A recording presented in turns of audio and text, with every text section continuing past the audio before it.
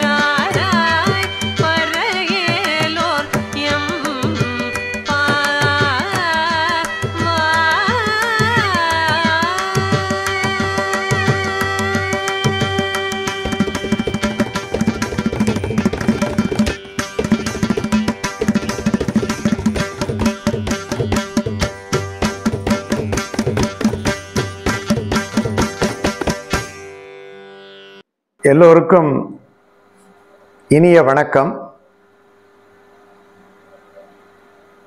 உறவுகளில் ரெண்டு வகையான உறவு இருக்கு.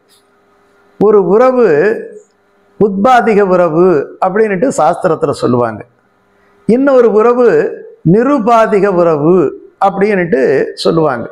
அதுதான் ஆண்டாள் சொல்றா எல்லா காலத்திலையும் நீ எனக்கு உறவு தானே உற்றோமேயாவோம் உனக்கே நாம் ஆட்செய்வோம் ஏழு ஏழு பிறவிக்கும் உன்னுடைய உறவு ஒன்னாலேயும் ஒழிக்க முடியாது என்னாலேயும் ஒழிக்க முடியாது. அப்படின்னுட்டு ஆண்டாள் தன்னுடைய திருப்பாவையில சொல்றா இல்லையா? நிருபாத்திக உறவு. நிருபாத்திக உறவுன்னா எல்லா ஜென்மத்துக்கும் அவன்தான் வந்து நமக்கு தாயாகவும் தந்தையாகவும் விளங்குகின்றான். ஆனா இந்த பிறவியில இருக்கக்கூடிய தந்தை அடுத்த பிறவியில இருப்பாரா? இந்த பிறவியில இருக்கக்கூடிய தாய் அடுத்த பிறவியில இருப்பாரான்னு அது நிச்சயம் கிடையாது. மாறி மாறி வரும். அன்னை எத்தனை எத்தனை அன்னையோ? தந்தை எத்தனை எத்தனை தந்தையோ? முன்னம் எத்தனை எத்தனை ஜென்மமோன்னுட்டு பட்டினத்தார் சொல்கிறார் இல்லையா? அந்த மாதிரி. இப்போ ரெண்டு வகையான உறவு இருக்கு. நம்ம பகவானை எப்பொழுதும் உறவாக நினைக்க வேண்டும். பகவான் நம்மை உறவாக நினைக்கின்றான். இதுதான் ஒரு அடிப்படையான ஒரு பக்தியினுடைய ஒரு சித்தாந்தம். இது ஆழ்வாராதிகள் சொல்லியிருக்கிறார்கள் நாயன்மார்கள் சொல்லியிருக்கிறார்கள். இந்து மதத்தினுடைய அடிப்படையான ஒரு உண்மை இது. அதனால் பார்த்தீங்கன்னா இப்போ உறவுக்குள்ள சண்டை போட்டுக்கிற மாதிரியே இந்த சண்டைகள் கூட பெரிய ப- ப- பக்தர்களுக்கு அல்லது ஆழ்வார்களுக்கு இல்லாட்டி போனால் கவிஞர்களுக்கு எல்லாம் ஏற்பட்டு விடுவது உண்டு. ஐயோ, நிந்தா ஸ்துதின்னுட்டு ஒரு ஸ்துதினாலே இறைவனை போற்றுவது தானே. ஆனால் எப்படி விஷயத்தை வச்சிருக்கிறாங்க பாருங்க நிந்தை இறைவனை திட்டுற மாதிரியே போற்றுறதுதான். ஒரு உதாரணம் சொன்னால் உங்களுக்கு தெரியும். காலமேகம்னுட்டு ஒரு புலவர் இருக்கிறார். அந்த புலவர் என்ன பண்ணார்? வைத்தீஸ்வரன் கோயிலுக்கு வந்தார். வைத்தீஸ்வரன் கோயிலில் இருக்கிற அந்த சுவாமிக்கு பேர் வைத்தியநாத சுவாமி அப்படின்ட்டு பேர். இல்லையா? அவர் எல்லா நோய்களையும் தீர்க்கக்கூடியவர். இப்போ கூட பார்த்தீங்கன்னா அங்கே ஏதோ ஒரு சாந்து உருண்டை ஆட்டம் கொடுப்பாங்க. இந்த காலில் எல்லாம் வந்து இந்த தோல் வியாதி எல்லாம் இருக்கிறவங்க பார்த்தீங்கன்னா அங்கே போயிட்டு இந்த உப்பு இதெல்லாம் கொண்டு போய் போடுவாங்க. தையல் நாயகின்னுட்டு அந்த அம்பாளுக்கு பெயர். முத்துக்குமார சுவாமின்னுட்டு அங்கே இருக்கக்கூடிய முருகனுக்கு பெயர் செவ்வாயனுடைய தலம் அப்படின்னுட்டு சொல்லுவாங்க. இப்போ அந்த தலத்தில் போய் சித்தாமிரத குளம்னுட்டு அங்கே ஒரு குளம் இருக்குது அங்கே எல்லாம் வந்து நீராடி விட்டு இறைவனை வழிபடுவது உண்டு. நேர்த்தி கடன் செலுத்துறதுக்கு நிறைய பேர் வருவாங்க. இவர் இந்த மாதிரி தன்னுடைய நோயை போக்கி கொள்ள வந்த ஒரு குடும்பம். அந்த குடும்பத்து வந்து உட்கார்ந்து அவங்க சித்தாமிரத குளத்தில் நீராடி விட்டு உட்கார்ந்துருக்கும் போது காலமேக புலவர் வந்து அவங்க கிட்ட கேட்குறாராம் எந்த ஊர்? எங்கேருந்து வந்தீங்கன்னுட்டு? அவங்க ஏதோ ஒரு ஊர் பேரெல்லாம் சொல்லி இந்த மாதிரி எங்கள் உடம்பு சரியில்லை. அவங்க போனால் நோய் தீர்ந்துடும்னுட்டு எல்லாம் சொன்னாங்க. அதுக்காக இங்கே வந்தேன் அப்படின்னு சொல்லும்போது இங்கேயே வந்தீங்க? எப்படி அவர் பேசுகிறாரு பாருங்க. இங்கேயே வந்தீங்க? ஆமாம் இங்கே தான் வந்தோம். இவர்கிட்டயா வந்தீங்க? ஆமாம் இவர்கிட்ட தான் வந்தோம். இவர்கிட்ட வந்தால் நோய் போகுமா? ஏங்க போகாத. ஊர் முழுக்க அப்படிதானே நம்பிக்கிட்டு இருக்கு. அவர் சொன்னாராம் இந்த பாருங்க இந்த சுவாமி இருக்கிறார் இல்லையா? நீங்கள் யார்கிட்ட வந்தீங்களோ அவருக்கே வாதக்கால். அவருடைய மச்சான் ஒருத்தவர் இருக்கிறாரு. அவருக்கு பார்த்தீங்கன்னா டயபெட்டிக்ஸ் எப்போ பார்த்தாலும் தண்ணியிலே இருப்பார். டயபெட்டிஸ்காரனுக்கு அடிக்கடி யூரினேஷன் வரும். அதனால் அவன் பாத்ரூமுக்கு போய் கையை காலை கழுவிட்டே வருவான். அங்கேயே உட்காந்துருப்பான் அந்த மாதிரி அவர் சொல்கிறார் அதுக்கு இன்னொரு பையன் ஒருத்தவன் இவருக்கு இருக்கிறார் பாருங்க. அவருக்கு ரொம்ப மகோதரம். சிரோசிஸ் லிவர் அப்படின்னு சொல்கிறாங்க அந்த மாதிரி அவனுக்கு பெரிய வயிறு. இது இவர் வீட்டிலையே இவ்வளோ பேர் நோயாளியாக இருக்கிறாங்க. மருத்துவனே நோயாளியாக இருந்தால் வர்ற நோயாளியை எப்படி தீப்பான்? இதை வந்து அவர் அழகான ஒரு தமிழ் பாடல்ல சொல்றாரு. பாதக்காலாம் தமக்கு மைத்துணர்க்கு நீரிழிவாம் போத பெருவயிராம் புத்திரர்க்கு ஒதக்கள் வந்த வினை தீர்க்க வகையறியார். வேலூரார் எந்த வினை தீர்ப்பார் இவர்? இது ரொம்ப ஒரு காலமேகத்தினுடைய ஒரு அற்புதமான ஒரு நயம். இது பார்த்தீங்கன்னா இதுக்கு நிந்தாஸ்துதி அப்படின்னு சொல்லுவாங்க.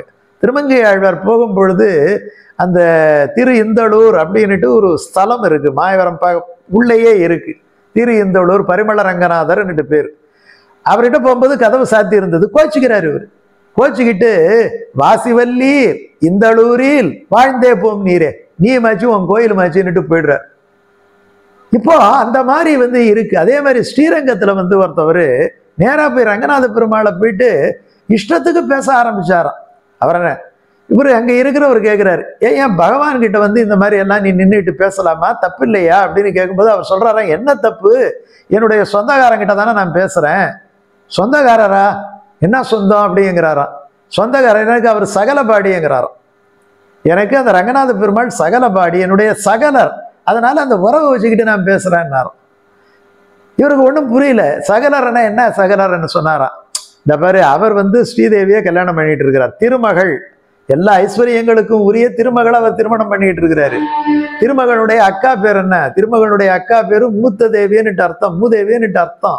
செல்வமே இல்லாத வறுமை தெய்வம் சொல்லிட்டு இருக்கிறாங்க இல்லையா? அந்த மாதிரி ஒரு செல்வம் இல்லாத ஒரு நிலை தான் எனக்கு இருக்கு. கல்யாணம் பண்ணிக்கிட்டேன்னு சொல்லல.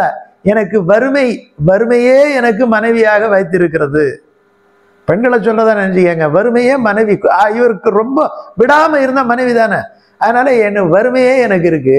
அவர் செல்வமே மார்பில் வச்சிருக்கிறாரு. நான் கீஞ்ச சட்டையோட இருக்கிறேன். அவர் பட்டு பிதாம்பரத்தோட இருக்கிறாரு. மூணு வேளை பெரிய அவசரம்னுட்டு அவருக்கு எல்லா விதமா வருது. நான் சாப்பிட்டே ஒரு வாரம் ஆச்சு. இல்லையா? அப்போ என்னுடைய என்கிட்ட சேர்ந்திருக்கக்கூடிய மூத்த தேவி வறுமை என்கிற அக்காவாகிய ஐஸ்வர்யம் என்பவரை மணந்து கொண்டதுனால அதாவது நான் மணந்து கொண்டவனுடைய தங்கையை அவர் மணந்து கொண்டதுனால எனக்கு சகலர் ஆயிடுறார் இல்லையா? என் சகலர் கூட நான் பேசுறதுல உனக்கு என்ன இருக்கு அப்படின்ட்டு அவர் கேட்கிறார் எவ்வளோ ஒரு அற்புதமான விஷயம் பாருங்க. கண்ணன் அதை மாதிரி சொல்றான். கண்ணன் இந்த கோ- கோ- கோ- பசுக்களை எல்லாம் அவன் கட்டி பிடிச்சிக்கிட்டு கண்ணுக்குட்டி எல்லாம் கட்டி பிடிச்சிக்கிட்டு இருக்கிறார் இல்லையா? அப்போ ஏன் இந்த மாதிரி கண்ணுக்குட்டி எல்லாம் கட்டி பிடிச்சிக்கிட்டு இருக்கிற? அப்படின்னு சொல்லும்பொழுது அவர் சொல்கிறாரா என்னுடைய பங்காளி என்கிறார் என்னுடைய பங்காளி இந்த பசுமாடுகள் இந்த கன்றுக்குட்டிகள் எல்லாம் என்னுடைய அதாவது திவத்திலும் நிறைவேத்தி அப்படின்னு சொன்னார். பரமபதத்தில் கூட அந்த மாடு மேய்க்கிறதுல ரொம்ப அவனுக்கு இஷ்டமா. திவத்திலும் நிறைவேத்தி. அப்போ இந்த மாதிரி சொல்லும்போது அது என்ன பங்காளி என்ன? ஆமா பங்காளி என்ன? ஒன்றை கொண்டு வந்தா பங்கு போட்டுக்கிறவன் தானே பங்காளி. அதானே அர்த்தம். நான் என்ன பண்றேன்? பாருங்க இப்போ நீங்க நெல்லை அடிச்சு கொண்டுட்டு வரீங்க. அரிசியெல்லாம் நான் எடுத்துக்கிறேன். அந்த மேலே இருக்கிற தவிடெல்லாம் அவர் எடுத்துக்கிறாரு. ஸோ ரெண்டு பேரும் பங்கு போட்டுக்கிறோம். அந்த அரிசியை சோறாக்குனா அந்த சோறு நான் போட்டுக்கிட்டு சாப்பிட்றேன். அந்த கஞ்சி தண்ணி இருக்குது இல்லையா? அந்த அரிசி களைந்த தண்ணீர் அப்புறம் வடித்த தண்ணீர். இதெல்லாம் நான் அவங்க கிட்ட கொடுத்துட்றேன். அப்போ அதையும் ரெண்டாக பங்கு போட்டுக்கிறோம்.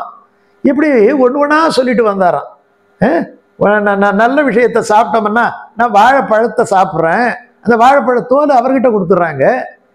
நான் கீரையை மேலே சாப்பிட்றேன். அந்த கீரையினுடைய அடிபாகத்தெல்லாம் அவர்கிட்ட கொடுத்துட்றாங்க. இப்போ நாங்கள் ரெண்டு பேரும் பங்கு போட்டுக்கிறதால நாங்கள் எல்லாம் பங்காளி. அப்படின்னு சொல்கிறாரு அதே மாதிரி மகாபாரதத்தில் கண்ணன் பாண்டவர்களுக்கு பார்த்தீங்கன்னா எனக்கு என்னுடைய உறவுகள் என்னுடைய உறவுகள். அவர் என்ன சொல்றாரு? மாமகா பாண்டவா எனக்கு ரொம்ப விருப்பமானவர்கள் பாண்டவர். நீ ஏன் பாண்டவர்கிட்ட இருக்கிற? ரெண்டு பேரும் உனக்கு சொந்தம் தானே? இல்லை இல்லை எனக்கு ரொம்ப விருப்பமானவர்கள். நீங்க கீதையினுடைய முதல் அத்தியாயத்தில் பார்த்தீங்கன்னா இந்த போர் எப்படி நடக்குது என்பது அந்த முதல் சுலோகத்திலேயே தெரிஞ்சிடும். முதல் சுலோகத்தில் இதுக்கு அஸ்திவாரம் போட்டது யாருன்னு சொன்னா துரியோதனன் கிடையாது. துரியோதனுடைய அப்பா திருதராஷ்டன் அவன் தான் சஞ்சயன் கிட்ட கேட்கும்போது ஒரு ஸ்லோகத்தில் பாருங்க ஒரே ஒரு சுலோகம் கீதையினுடைய முதல் ஸ்லோகம் அவங்கிட்ட கண்ணு கொடுத்துட்றாரு அவர். வியாசர் வந்து அதை பார்த்து நீ அப்படியே டெலிகாஸ்ட் பண்ணு அப்படின்ட்டு சொல்லி கொடுத்துட்றாரு. அப்போ சஞ்சயன் கிட்ட போய் கேட்குறாரு இவர் கண்ணை மூடிக்கிட்டு கேட்குறாரு எப்பா அந்த குருஷேத்திர யுத்தத்தில் என்ன நடந்துகிட்டு இருக்கு? ஏ கௌரவர்கள் பாண்டவர்கள் ரெண்டு பேரும் எப்படி இருக்கிறாங்க? அங்கே என்ன நிலவரம்? கள நிலவரத்தை சொல்லுங்கிறார் அதுக்கு அவர் என்ன தெரியுமா ஸ்லோகம் போட்டிருக்கிறாரு? தர்மஷேத்ரே குருஷேத்ரே சமவேதா யுயுத்சவகா. மாமகா பாண்டவ சைவ கிம் அகுர்வத சஞ்சயான்னுட்டு அந்த ஸ்லோகம். தர்மஷேத்திரே குருஷேத்ரே எல்லாம் அந்த குருஷேத்திரத்தில் வந்து எல்லாம் படை வகுத்து நிற்கிறாங்க இது இது வரைக்கும் கரெக்ட் அங்கே கள நிலவரம் அந்த ஃபீல்டை பற்றி சொல்கிறார் ரெண்டாவது வரியில் மாமகா பாண்டவா அப்படிங்கிறார். என்னுடைய பிள்ளைகளும் பாண்டவர்களும் என்கிறார். அப்ப என்னுடைய பிள்ளைகள் என்று தனக்கு உரிய அந்த அகங்காரத்தோடு சொல்வதினாலே தன்னுடைய புத்திரர்களான கௌரவர்கள் மீது அவனுக்கு இயல்பான வாச்சல்யம் அதிகரிக்கிறது. பாண்டவர்கள் பாண்டுவினுடைய புதல்வன் தனக்கு சொந்தமாக இருந்தாலும் இவன் பெரியப்பா தன்னுடைய தம்பி பையனாக இருந்தாலும் கூட பாண்டவான்னுறான் அவன் தனியாக ஒரு குரூப்பாக சொல்லி விட்டுறான் என் பசங்க கூட அந்த பாண்டவர்கள் என்ன செய்கிறாங்க என்னுடைய பசங்க கூட. என்னுடைய பசங்க என்னுடைய உறவினர்கள் ரெண்டு பேரும் என்ன பண்ணிக்கிட்டு இருக்கிறாங்கன்னு சொன்னா பிரச்சனை கிடையாது. என்னுடைய பசங்க மாமகா அவன் அங்க கௌரவன் கூட சொல்லல. மாமகா என்னுடைய மகன் என்னுடைய மக்கள் அவர்களும் அவர்களை எதிர்த்து நிற்கிற பாண்டவர்களும். அப்ப பாண்டவர்களை திருதராஷ்டிரன் ஆரம்பத்திலிருந்தே எதிரியா கருத ஆரம்பித்து விடுகின்றான். அவனை உறவாகவே நினைக்கவில்லை. பகை கொண்ட உள்ளம் துயரத்தின் இல்லம் தீராத கோபம் யாருக்கு லாபம்ங்கிற மாதிரி அதுதான் வளர்கிறது. ஆகையினாலே நம்முடைய ஆன்றோர்கள் நம்முடைய தத்துவத்திலே சொல்லக்கூடிய ஒரு விஷயம் இறைவனாக இருந்தாலும் பக்கத்து வீடு எதிர் வீடு நம்முடைய உற்றார் உறவினர்களாக இருங்காட்டும் இருந்தாலும் பகையை வளர்க்காதீர்கள் உறவை வளர்த்து கொள்ளுங்கள். அந்த உறவு உன்னத உறவாக இருக்கும். அது உங்களுக்கு எல்லா விதத்திலும் உதவும். இதுதான் ஆன்மீகம் நமக்கு சொல்லித் தருகின்றது.